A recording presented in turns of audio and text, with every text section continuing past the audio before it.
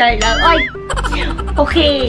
So, welcome back to my YouTube channel. Please do not forget to subscribe, hit the bell button para updated kayo sa mga mga chururut chit sa mga vlog ko.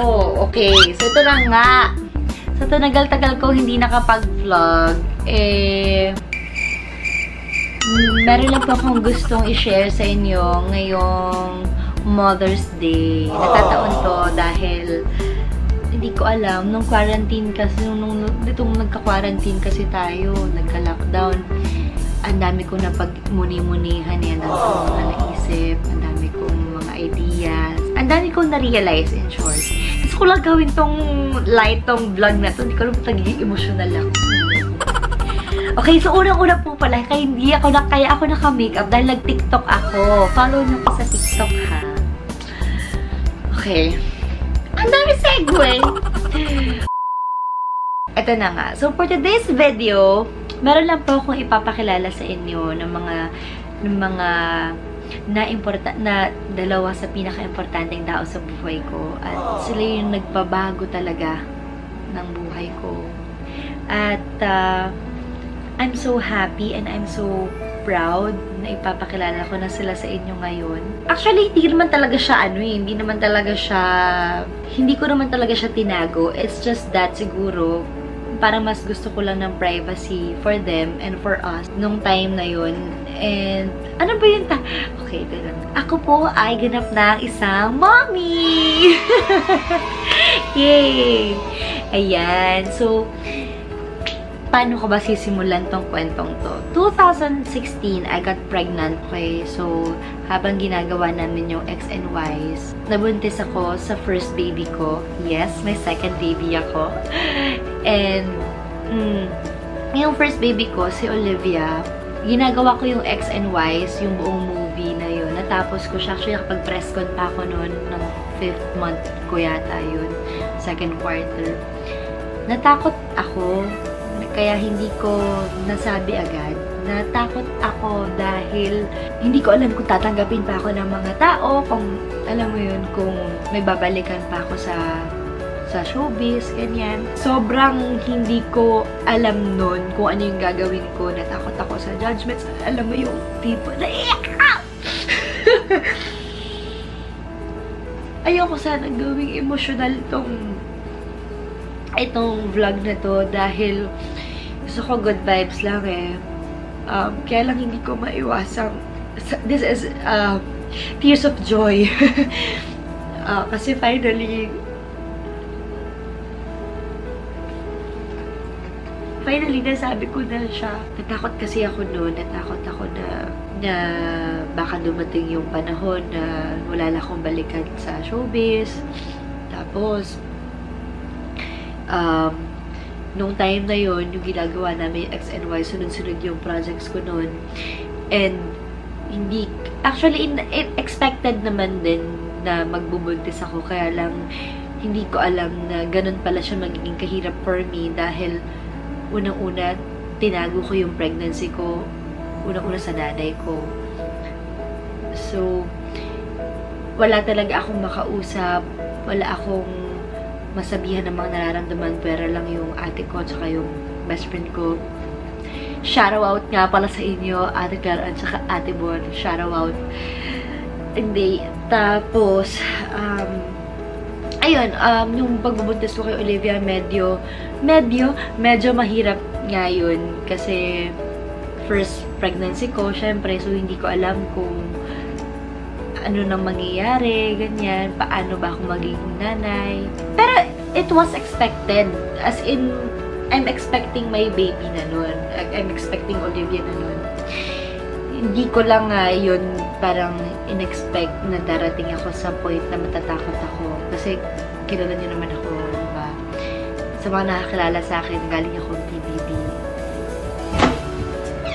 Eh, halika na nga! Ipapakita Ba't ka pawis na pawis naman?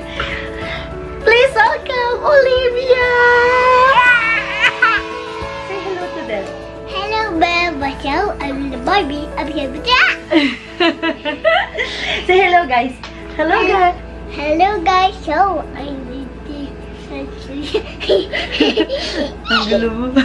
Ayan, nagtatawag din yung isa. Big Didia, pulo. Ka na dito. Please welcome! Lucas! Yay! Okay, so... Hindi na. Close mo yung pinto. Ay. Okay, so si Lucas naman. Okay, si Olivia. Olivia, come here. Come here. Babe, how old are you? Two, What's your nickname? two. Na si Olivia, pinanganak ko siya noong June 16, 2017. So, may mga lumabas na, na Bebo. May mga lumabas na na picture na nagbabinyag kami, which is totoo po yun. Um, hindi ko alam, hindi ko naman talaga siya kasi totally tinago. Para yun nga, more of, gusto ko lang yung privacy ng mga bata. And then si Lucas naman. Lucas! Lucas! Si Lucas naman is my second baby. He was born on July 28, 2019. So, last year lang. So, 8, an- ano, 9 months na siya ngayon. Turning 10. Garbage. Um, Garbage. kakapanganak ko lang Garbage. pag, ay, pagkatapos ng asin, ito naman si Lucas is asintado baby. So, si Olivia is X and Y's baby. Si Lucas is asintado baby. Tara! Sigo! Dahil, pagkatapos sa pagkatapos ng asintado, nabuntis ako kay Lucas. So, si Lucas, ito siya naman yung ano, unexpected na baby ko. Pwede ka ba naman yung sobrang cute? Itik-itik sa Manila Zoo. Itik-itik.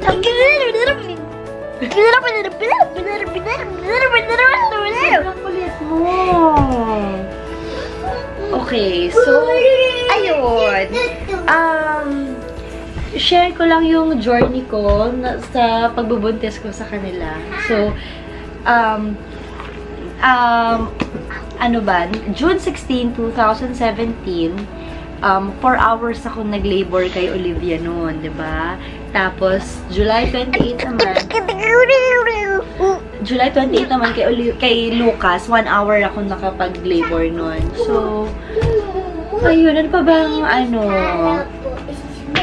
yun lang naman. Um, gusto ko lang sila ipakilala sa inyo. Kasi, ang gulo-gulo ng vlog na to. Kasi, okay.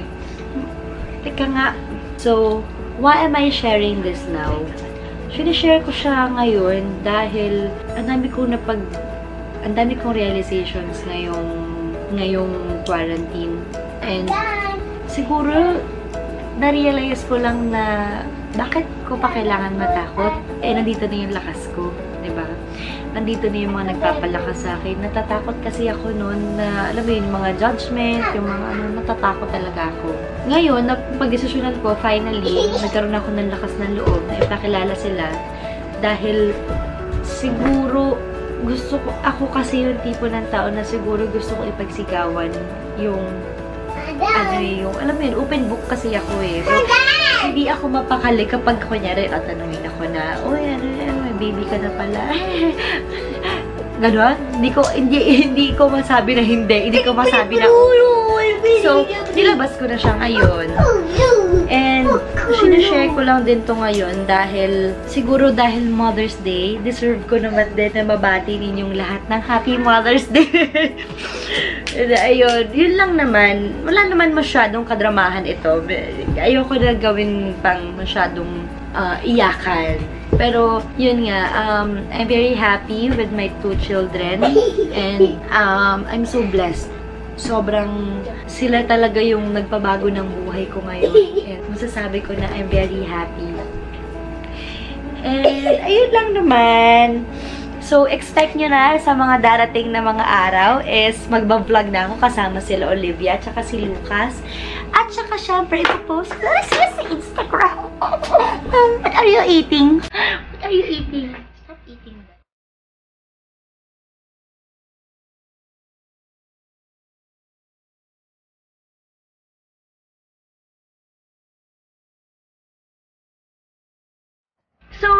lamang po. Um, hindi ko na po siya papahabain.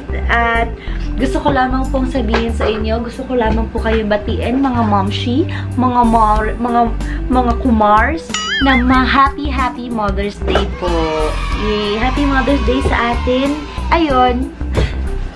Um, thank you for watching this video. And, yun lang naman, nag- nag-share lang naman ako. Pero sa next, mga next na vlog ko, share ko naman sa inyo yung journey ko na throughout the pregnancy. So, yun lang. Introduction ko lang sa kanilang dalawa. Babe! Babe! Come here. Say bye-bye na. Bye-bye. Say subscribe. Subscribe. Click Click the bell the bell button. and button. Ayun! Thank you so much guys for watching! Booyah! Bulul! Bulul!